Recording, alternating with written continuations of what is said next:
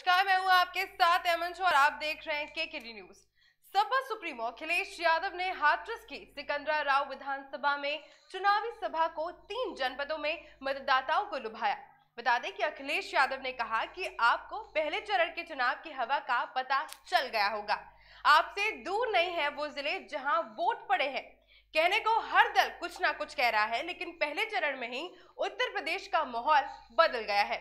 आगे अपने संबोधन में उन्होंने बीजेपी पर जमकर हमला बोला। क्या कुछ कहा अखिलेश यादव ने? देखिए इस रिपोर्ट में।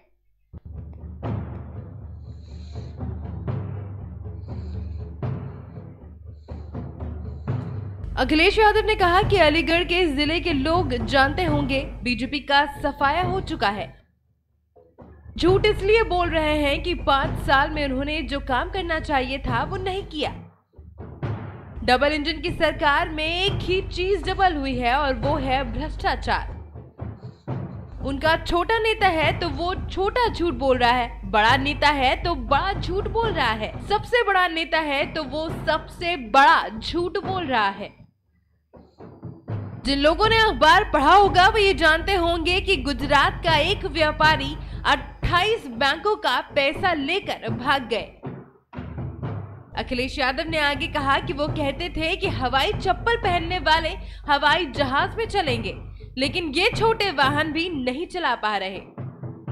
समाजवादी सरकार ज़रूरत पड़ने पर पेट्रोल, डीजल भी फ्री देगी। बिजली 300 यूनिट फ्री देगी। सपा ने कारखाने बनाए, बिजली उत्पादन के वहाँ से दिखाएँगे कि बजट से हम क्या कुछ कर सकते हैं। बजट से हर साल का 300 करोड़ बिजली फ्री देने की बात कही थी। मुख्यमंत्री बिजली कारखाने का काम भी नहीं बता पा रहे। एटा से लखनऊ जाओ तो देख लेना कितना बड़ा कारखाना बन रहा है। डबल इंजन की सरकार पता नहीं कहाँ रफ्तार बढ़ा रही है। ये सरकार सांड भी नहीं पकड़ पा रही। बड़ी संख्या में लोगों की मौत सांड से हो रही है।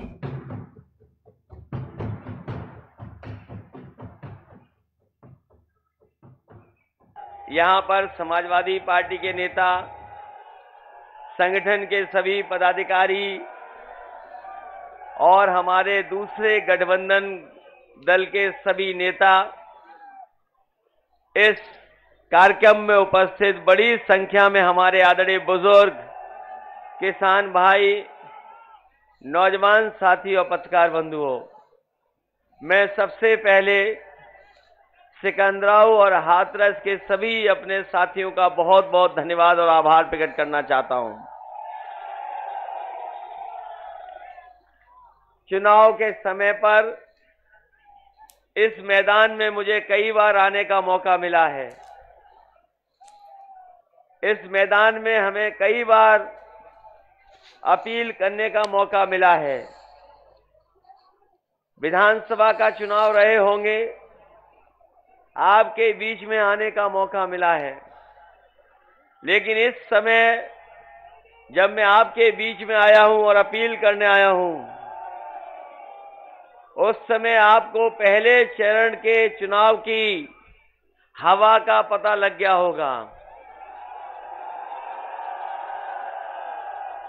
आपसे दूर नहीं है जिला जहाँ पर वोट पड़े हैं।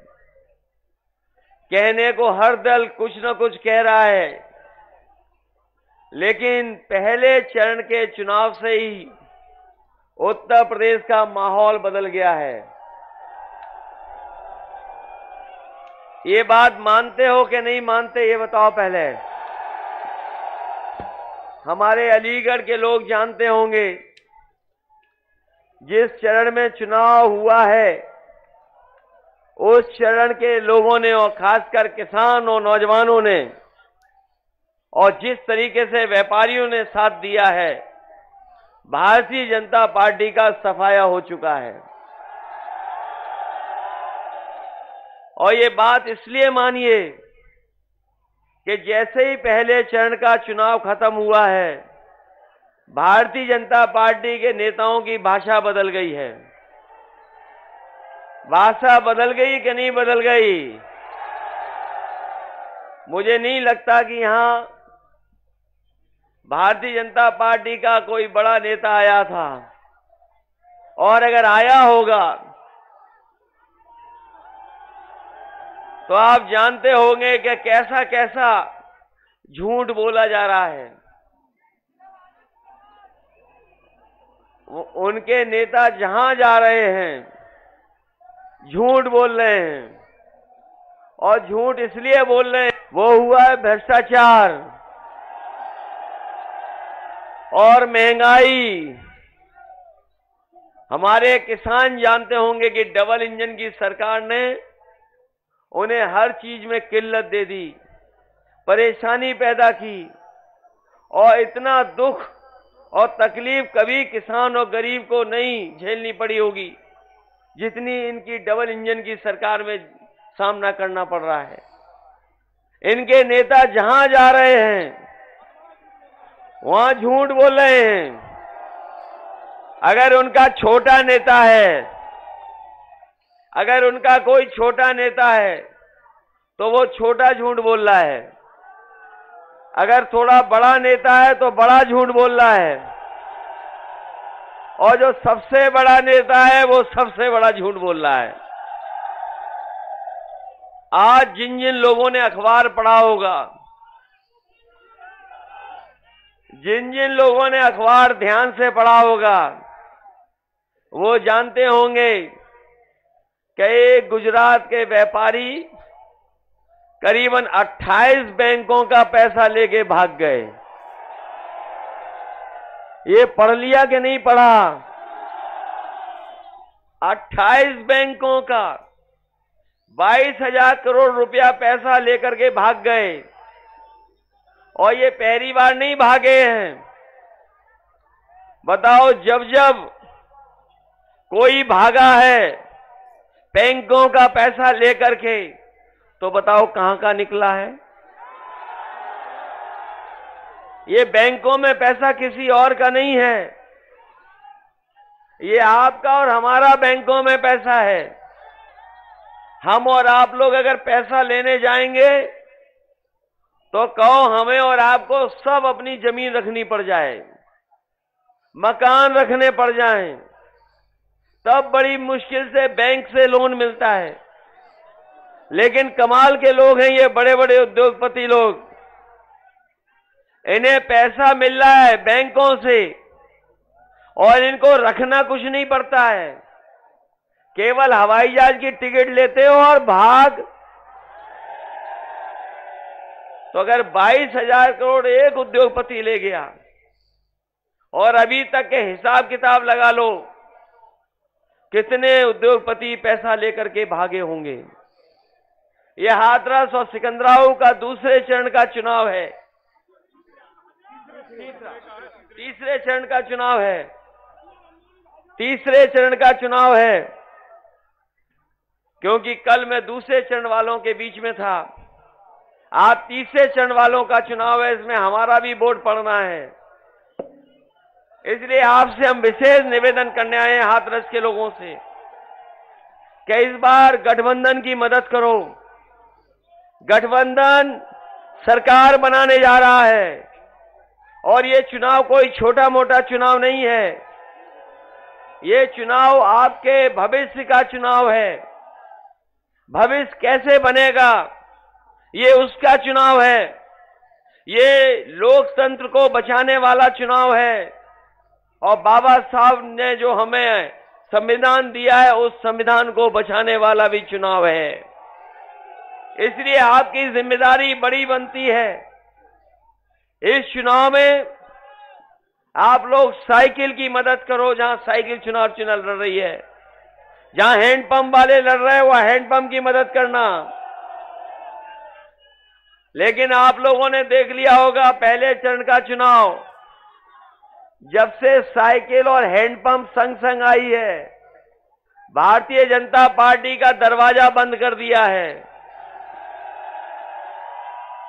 और जब मैं अलीगढ़ गया था तो अलीगढ़ वालों से मैंने कहा, इस बार भारतीय जनता पार्टी के दरवाजे पर बढ़िया ताला लगवा दो, जिससे कभी दोबारा उत्तर प्रदेश में ना आ पाए।